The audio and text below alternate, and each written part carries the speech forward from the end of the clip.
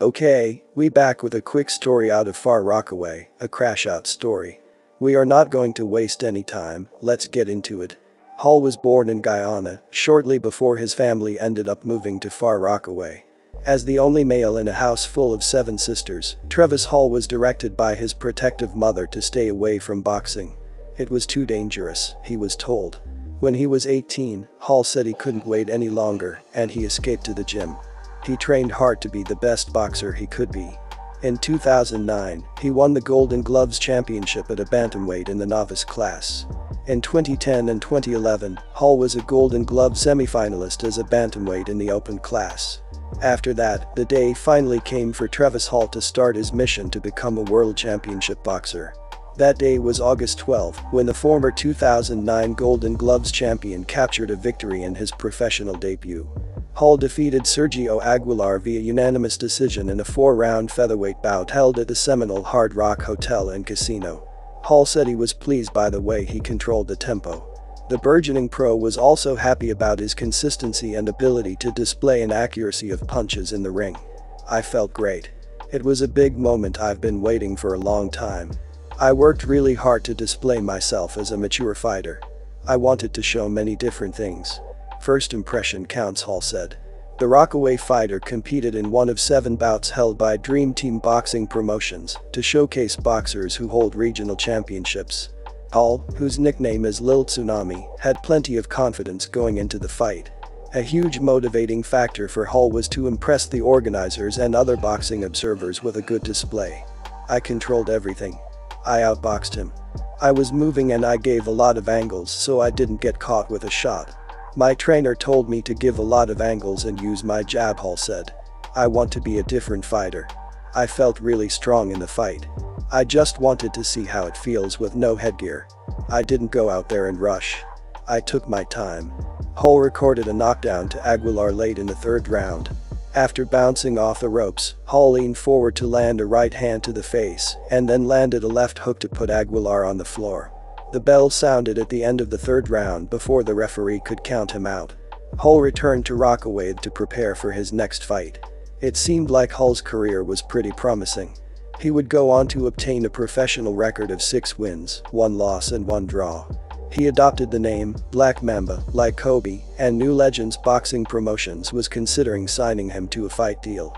However, in December of 2014, things would take a dark turn. He warned of the dangers of revenge on his Facebook page a week prior, and the professional boxer found himself being grilled by cops about his girlfriend's brutal murder on a Queen Street. Trevis Hall, 28, was being questioned by detectives at Jamaica Hospital about the shocking slaying of Margarita Rivera near her home. The mother of two was stabbed numerous times in the chest and beaten in the head with a pipe, cops said. She was trying to breathe, but she was bleeding from her nose and mouth said a neighbor. We were just saying her name, Marguerite. Marguerite. Help is coming. Stay with us. She said she'd seen the former Golden Gloves champ running away as she approached. He was holding his stomach the neighbor said. He seemed out of it.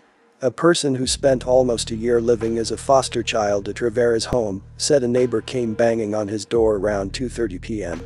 I ran up the block and she was laying down there the person said. She kept trying to say his name. But she couldn't. She was too injured. She tried saying Trevis Hall. I knew exactly what she was trying to say the person said, breaking down in tears. I knew who did it. Hours later, Hall was found unconscious behind a dumpster at 127th Street near 9th Avenue, almost 10 miles away from the scene of the crime, sources said. He had no visible injuries. Hall purchased the pipe 90 minutes earlier from a nearby Home Depot, the receipt of which was later found in his possession. Friends said he and Rivera had dated for years and had been living together with their two kids from different relationships. It was said that she had broken up with him. They had a rocky relationship, and Hall believed Rivera was cheating on him, said Hall's stepfather. Hall was busted prior for allegedly threatening Rivera and the foster child with a knife at her Watson Place home. He then hit the foster child 19 in the face with a 2-pound dumbbell in his hand, fracturing his cheek and causing bleeding and substantial pain court papers say. Hall pleaded guilty to third-degree assault in October. He was given a conditional discharge, meaning the case would be dismissed and sealed if he stayed out of trouble for a period of several months. A week before the murder, cops were called to Rivera's home again because Hall had allegedly pushed her in front of their daughter. Rivera filed for a restraining order after the incident. A day before that incident, Hall wrote on his Facebook page, when anger rises, think of the consequences. While seeking revenge, dig two graves, one for yourself. I've learned holding on to anger is like grasping a hot coal with the intent of throwing it at someone else. I'm the one who gets burned. Getting angry doesn't solve anything. Using my brain and taking a much smarter approach dealing with all of life challenges will put everything where I need it to be. The day of the shoving incident, he posted a slightly mangled quote by philosopher Baltasar Gracian. Never do anything when you are in a temper people, for you will do everything wrong people. A lot of lives will be lost, and nothing will get done. Hall's former trainer, Kenyatta Harris of Rockaway's Rope said, nobody saw this coming whatsoever. He's a boxer, but not a violent person Harris said, expressing remorse for Rivera's family. That was a very selfish move he did, he said. In 2017, Hall had an angry outburst in court and was later restrained after a Queens judge slapped him with a 25-year to life prison sentence for the brutal killing of his ex-girlfriend. Before the outburst, Trevis Hall mumbled, get out of here, as the judge read the court's decision.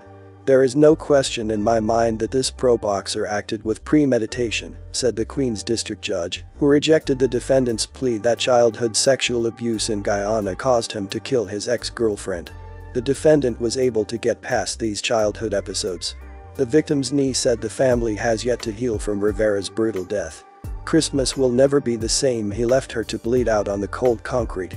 In court, the defendant's lawyers alleged that Rivera's relatives threatened the Hall family three separate times, including once at a laundromat, during the trial and outside the courtroom. But this about wraps this story up. Is this a crash out or no? As always, stay low and thanks for watching.